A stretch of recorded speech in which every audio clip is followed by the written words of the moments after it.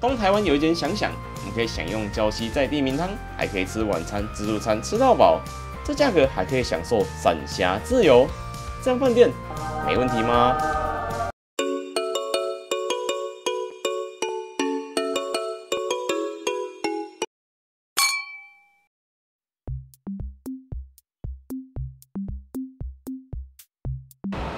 大家好，我是豆豆。我们现在来到宜兰这里了啦。然后这么生活这家是川汤春天温泉饭店呢。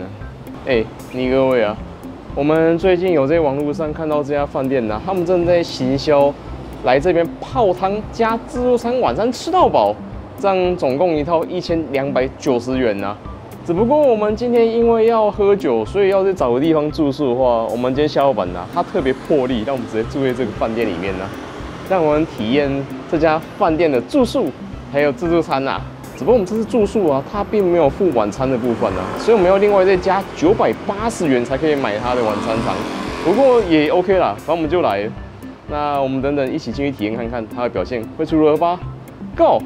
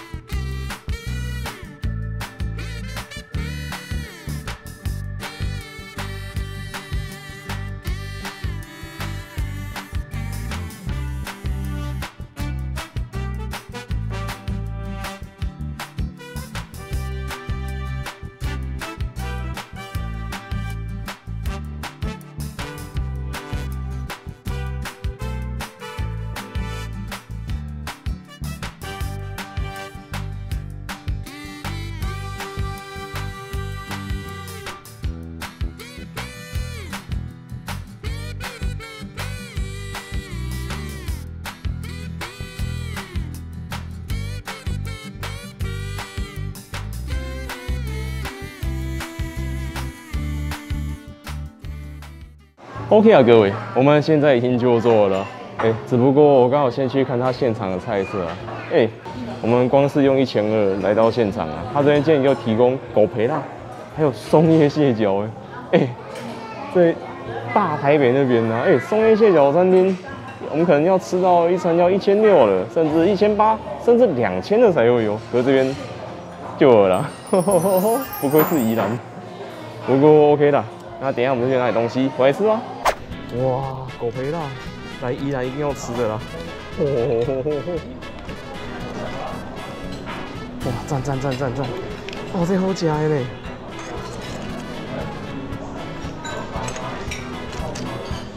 你看这边还有大白虾，不愧是宜兰。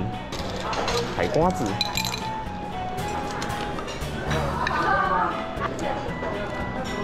牛蹄蟹。九孔鲍、扇贝、旗鱼、迷信、三文鱼、臭臭妈的、瓦萨比、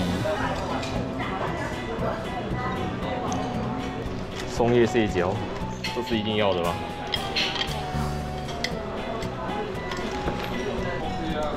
鱼烤生蚝，薄荷金。哇哇哇哇！这些怎么都是泡沫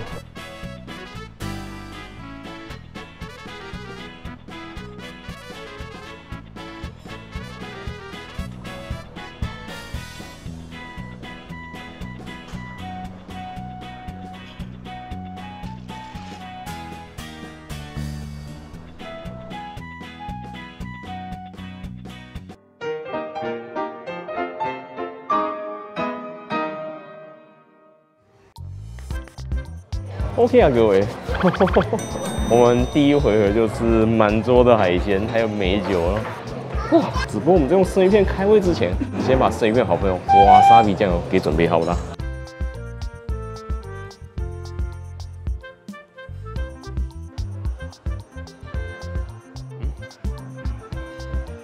它这瓦萨比是不是很熟悉又接地气？Baba Boy。我们先从其余生鱼片吃起来。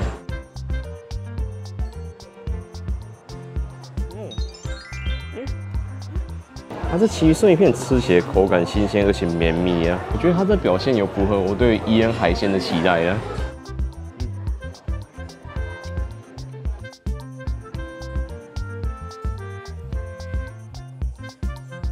鲑鱼生鱼片。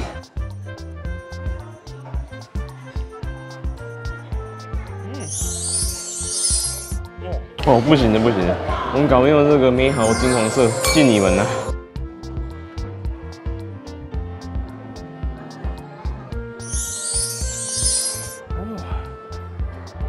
新鲜的生鱼片，我们在咀嚼的时候，它的脂肪化成了一体，浸满我们嘴巴。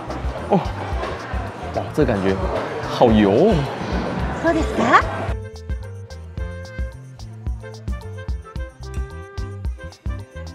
接下来是泥性的部分，它这东西就是非常的中央餐厨，但是我很喜欢。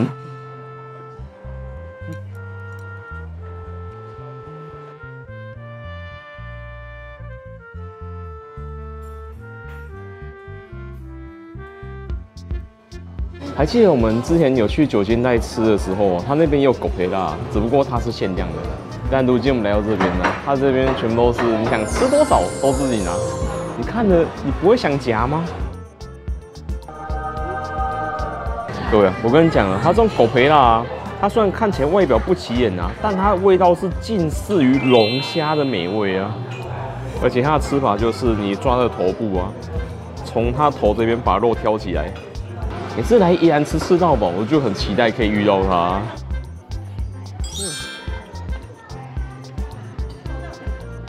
如果我们家时间够的话，我们应该可以拿很多回来吃。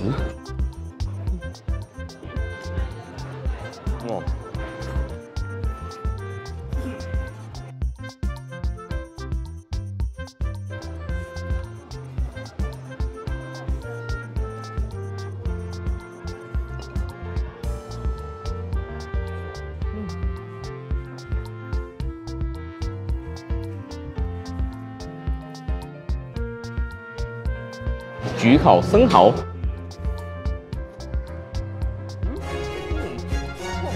新鲜鹅啊，加上这种罪恶焗烤啊，混合在一起，它就是好吃啊！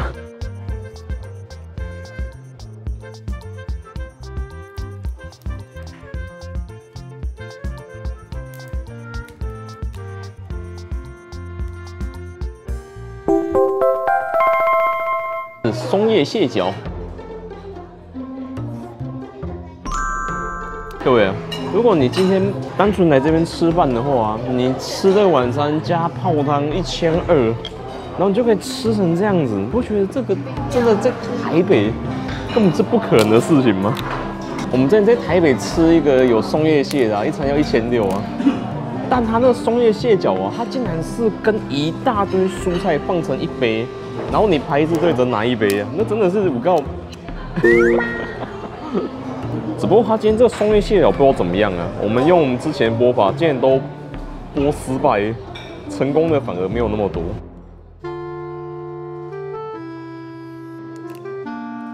你看我们之前这些续集用的剥法，你看剥出来它的肉都卡在这里面，我不知道它这个松叶蟹发生什么事啊。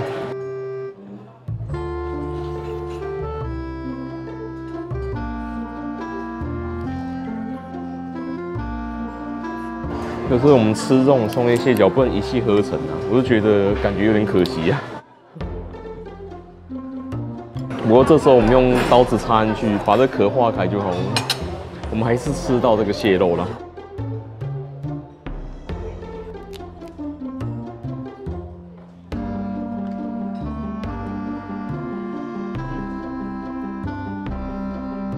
带壳扇贝。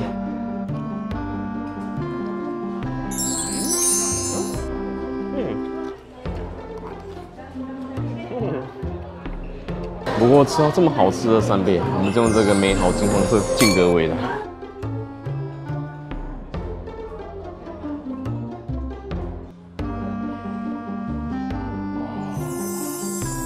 哇，博客已经赞呐！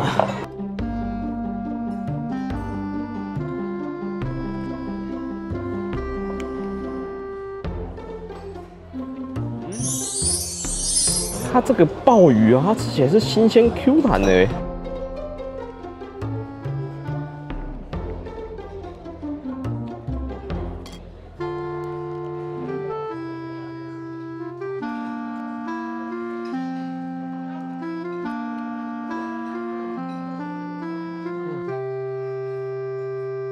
海瓜子。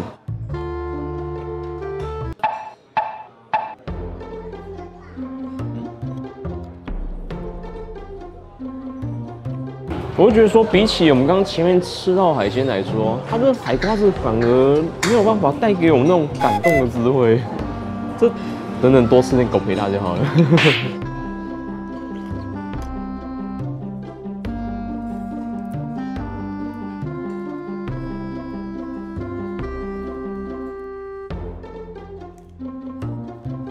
大白虾。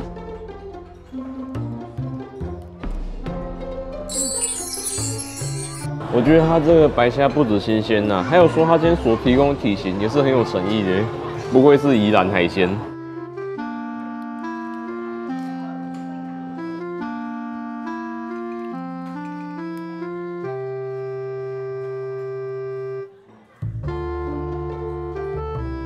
它这蟹头里面竟然有蟹黄哎！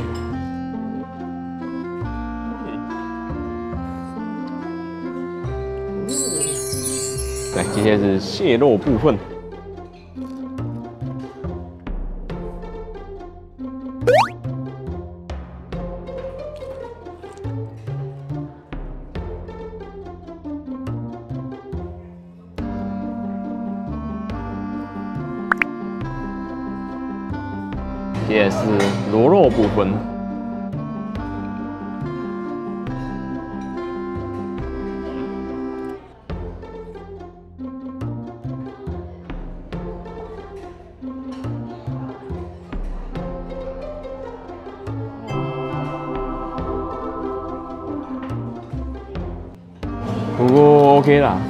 吃完第一回合所有东西，那我们这边拿下一回合东西我来吃吧。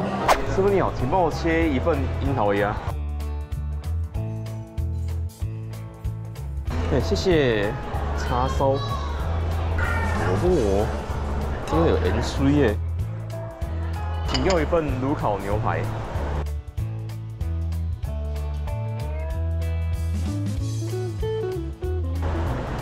谢谢。黑胡椒酱、奶油蘑菇酱。哦，奶油蘑菇酱很特别，我们来试试看。狗皮辣自由。扭转乾坤，这不就骰子扭吗？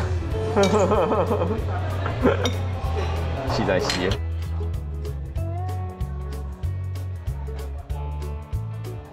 这是叉菇菜，气势如虹。龙腾虎跃，我猜这是龙虎斑呐，看这个斑纹还蛮像。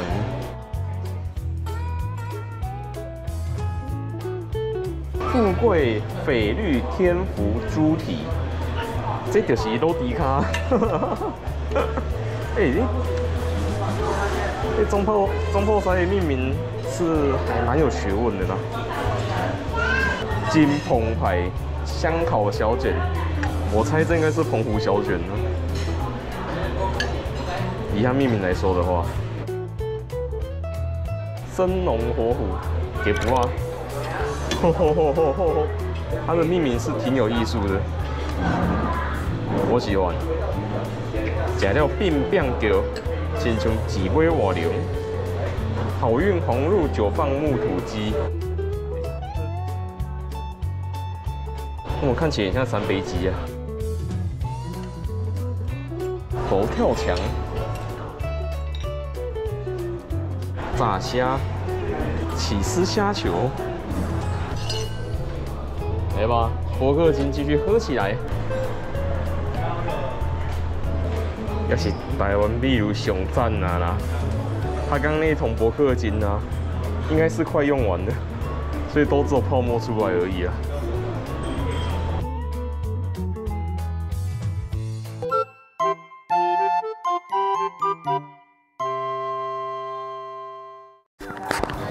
OK 啊，各位。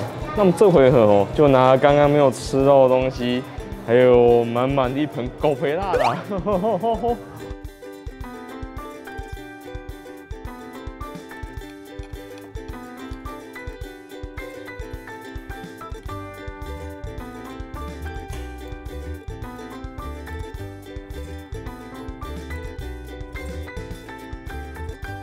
那我们趁炉烤牛排还有余温的时候，我们先吃起来啦。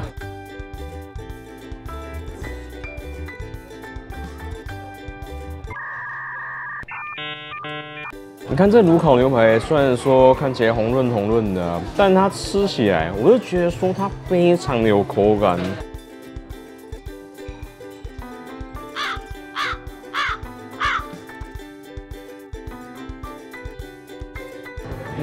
接着试试看带着丰富脂肪的部分呢。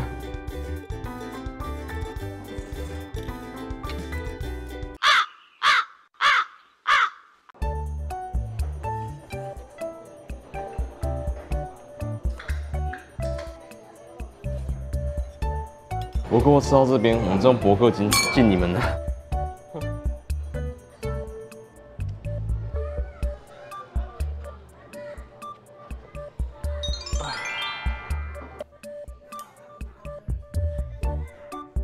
还有今天餐厅他们主推的部分是樱桃烤鸭，还有叉烧啦。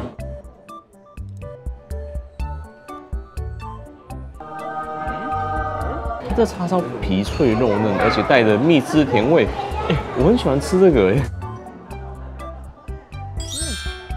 那是好吃哎。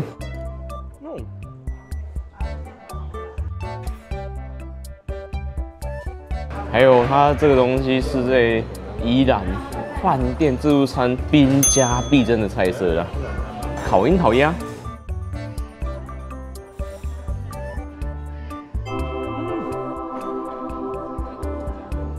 我咬下去的时候，它鸭皮跟鸭肉中间的脂肪，它直接化成一体，浸满了我嘴巴。这个好油哦！而且重点是它皮脆肉嫩的，它这是很好吃的烤鸭哎。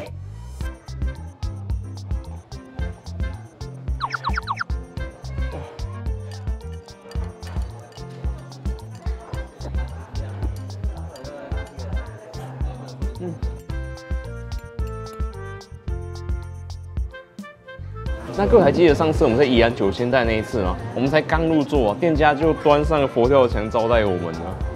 只是没有想到说，今天这边他竟有提供佛跳墙哎！哎，各位，你有看到吗？它里面的排骨酥都已经滚到透烂了。哎，它这个是好吃又好喝的佛跳墙哎！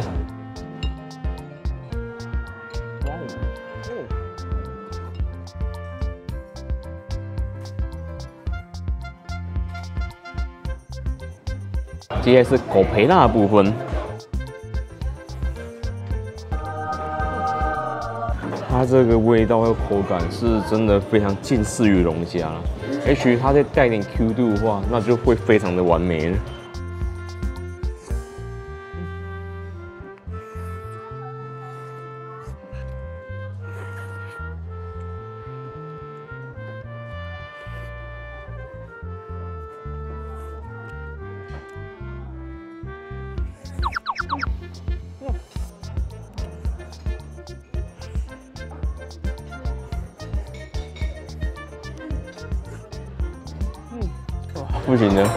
吃到这么美妙的海鲜，一定要用白酒敬各位的吧。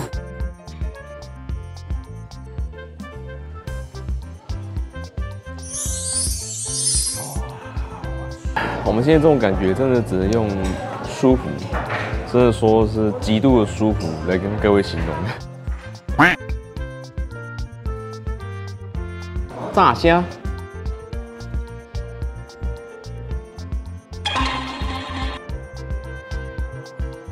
这炸虾吃起来就是有一种非常油、非常不舒服那种感觉。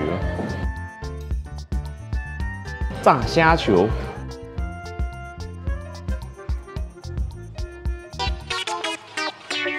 我觉得说它炸物吃起来就是有一点水菜色用的吧。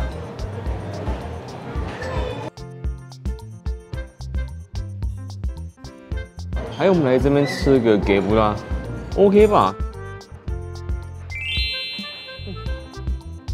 而且今天值得提到的是啊，它的给不辣的大小啊，比起我们这些火锅店常吃到的火鸡蛋蛋来说，是不是这个大小看起来就有一种平易近人的感觉了？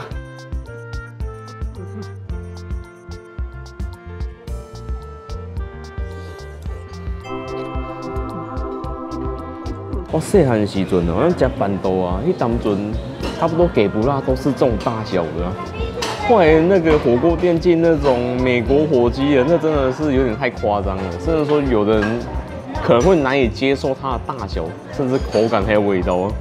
我觉得这种台湾鸡的尺寸是刚刚好的。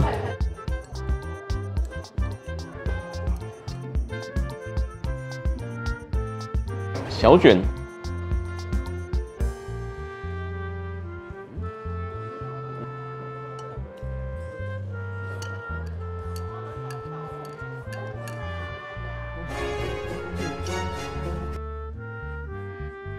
鸡肉，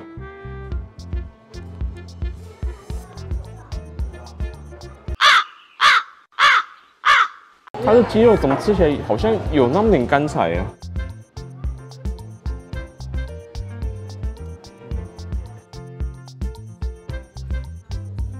龙虎斑。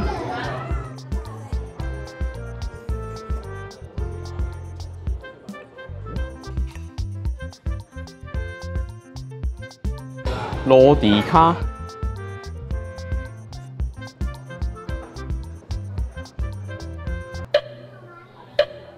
哎，各位，我就觉得猪脚吃起来好像没有卤到很透的感觉，它吃起来有一点嚼劲哎。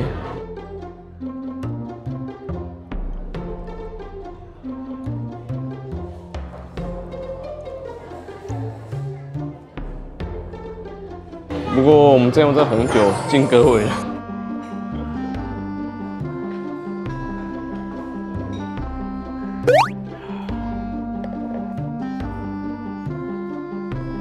骰子牛，它这个骰子牛竟然有一种坚不可摧的口感呢！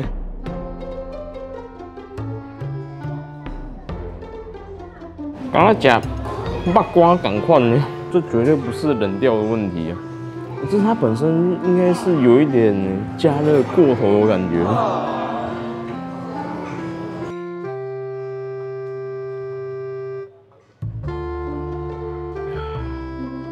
不过也 OK 啦。那等一下，我们再去拿些想要的东西，然后再拿点甜点回来吃，应该也差不多了。因为他今天这家自助餐呢，我们平日晚餐用餐时间只有两个半小时而已。对，从六点可以吃到八点半，那应该也差不多了。马卡龙，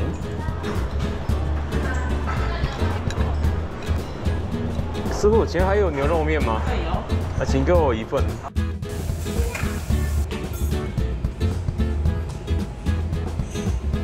面旁边有佐料可以加。哎，好，谢谢。牛肉面就是要配青葱。脆了。我回到。栗子卷。樱花玫瑰巴斯克、香橙女人、法式覆盆子蛋糕卷、草莓焦糖金砖、红茶羊羹云朵卷、大家偶尔巴斯克、皇后苹果派。哇，好小块哦，真可爱。红酒桂圆青棒蛋糕，哦，金箔蛋糕，哎，哦，金箔小蛋糕，奶酪，天马行，丝袜婚礼，还有来到宜兰，一定要来碗螺肉酸的吧。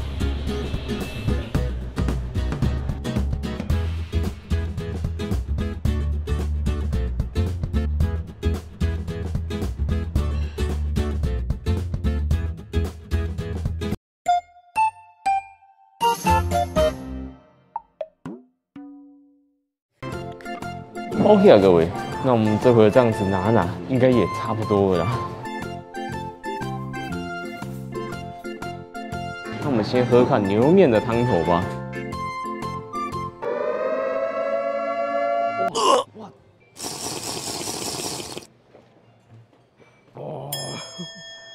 哇！天哪！我就觉得说，它这个牛肉面的汤啊，应该是不太适合直接喝了。虽然说它味道非常的浓郁，非常的香啊，但是我是觉得，感觉我肾脏好像有点痛。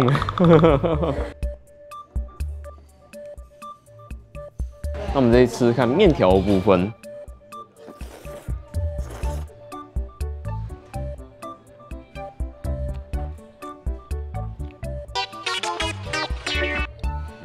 感觉它的汤头有点咸过头了，所以说整体吃起来。可以吃到一点点的红烧味，但是整体来说都是酱油的咸味啊。不过也 OK 啦。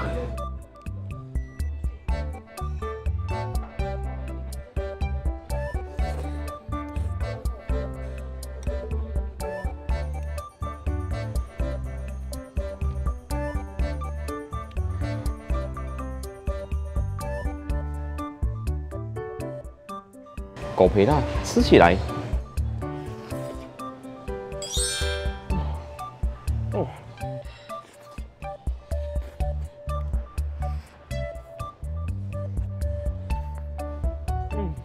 你知道这个完美的狗皮辣，一定要这个台湾啤酒敬各位的吧。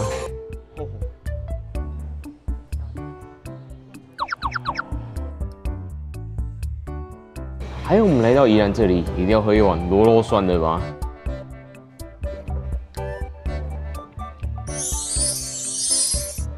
这边有加了螺肉啊、萝卜啊，还有大蒜啊等等的。但说它整体喝起来的味道是十分的顺口清甜的，跟刚刚那个牛肉面真的是有那么一点点的差别了，一点而已啦。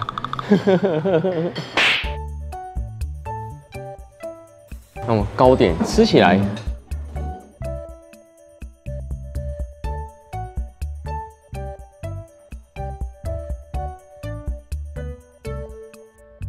虽然说他们烧走人员有跟我介绍他的这边糕点还有点心呢，全部都是他们大厨自己做出来的，可是我觉得这吃起来感觉好像口感有那么点偏干偏干的感觉。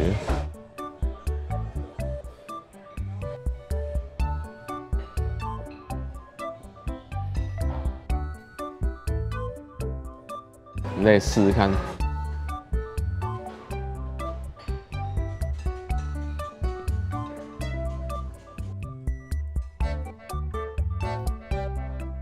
那今天我们吃了撒了金箔点心，这应该就 OK 了吧？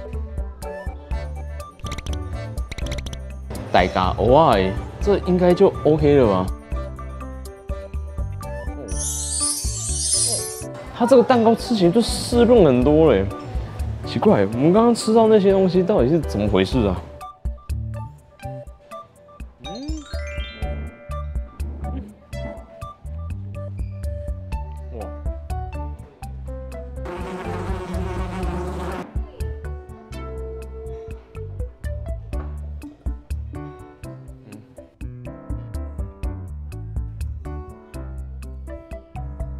还有这个金箔马卡龙，他们也说这是他们大厨做的点心啊。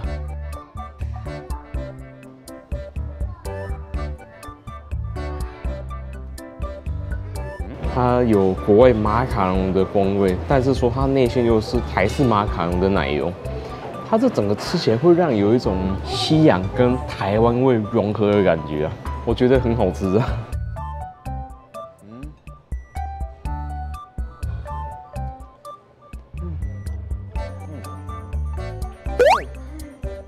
好吃的马卡龙啊！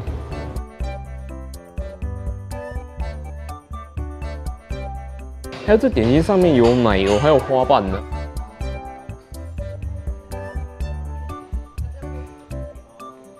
哇，这是慕斯哎。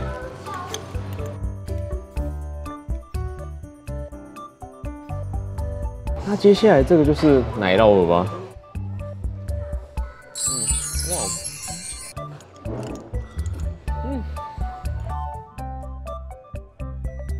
金箔蛋糕。那最后我们就用这个美好金黄色金鹅味啦。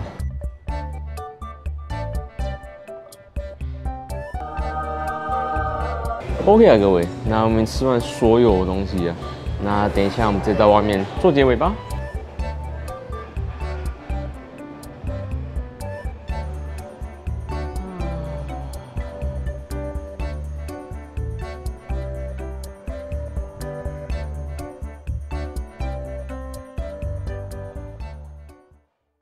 OK 啊，各位，我们现在先回到今晚下榻的房间的啦。那我们来说说我们今天吃想想自助百汇的想法吧。因为我们有在这边住宿，所以我们今晚自助餐用餐费用是九百八十元。哎，只不过我是觉得说，如果你今天没有住宿的话，你光吃它的自助餐，它定价是一八零，如果加完十趴服务费的话，差不多要一千三、一千四左右了。我觉得说，如果你要来礁溪这边玩，然后吃饭的话，也许你可以去搭他的活动。他今天这家自助餐吃到饱，他可惜的地方是啊，他用餐时间只有两个半小时，他不会像平常我们吃的一些自助餐吃到饱，起码来个三个小时啊，然后甚至像享宾的四个小时有的没的，哎，这样反而有那种可以让你吃的不许不慌，甚至你吃饱了。还可以坐在那边休息、喝饮料、划手机等等的。但饭店我相信他们有营运的考量啊，你每多拉一个小时出来啊，你就要付全场的员工多一个小时的薪水啊，相对成本会增加，我能理解。但今天整体餐点最让我满意的地方是就是些狗皮辣，嚯！我们要在哪个吃到饱才可以一次吃到那么多的蒜虾？但如果你问我说今天要我们再回来这边吃的话，我。OK 吗？哎，各位，这当然 OK 啊。它那个烧腊，我是第一次在吃到饱吃到的烧腊是那么的好吃哎。哎，我们平常吃个吃到饱，它那个烤鸭都烤的那个皮硬肉硬给你吃的，让你吃个味道的而已。可是今天来到这边，哇，那个樱桃鸭真的是烤的刚刚好，它是很好吃的烧鸭。还有那个叉烧也是不马虎的，如果你有吃过的话，欢迎留言。也许他今天现场跟牛肉有关系的料理啊，真的都挺让人怀疑人生的。但是我们来到那么 chill 的地方，我们喝一点啤酒，还有红白酒啊，这些东西好像也无所谓啦，好不好？来，各位看到这边有什么推荐吃到饱餐厅，欢迎留言告诉我，我看到就去回复啦。哎，如果喜欢影片的话，欢迎按赞、订阅、加分享，喜欢加入频道，或者超级感谢各位支持我们哦。那我们就下一个影片见啦，拜拜。